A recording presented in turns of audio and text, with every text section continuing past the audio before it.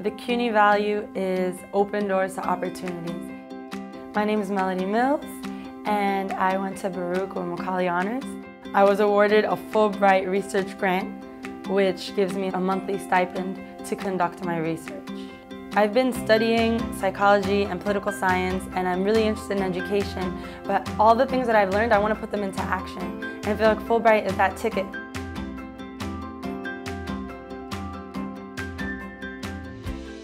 It's a home um, that rescues girls from the street and hopes to rehabilitate them from any drug use that they have and also incorporate like social, emotional, mental, all like support. I've always had a passion to work in the education of children with social disadvantages.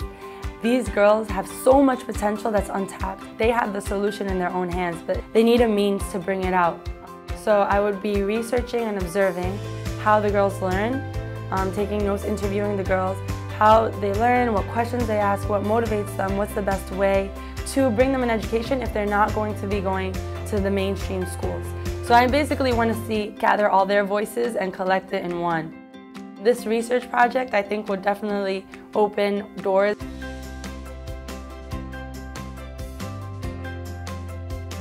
The things that I've learned in CUNY are not all in my classrooms. Are things that I've done in the clubs, are things that I've done with Macaulay, there's things that I've done when I studied abroad. And I think that, that CUNY recognizes that, supports that, and values that education is more than what you get in a classroom. Education is that learning process that you go through in this college experience.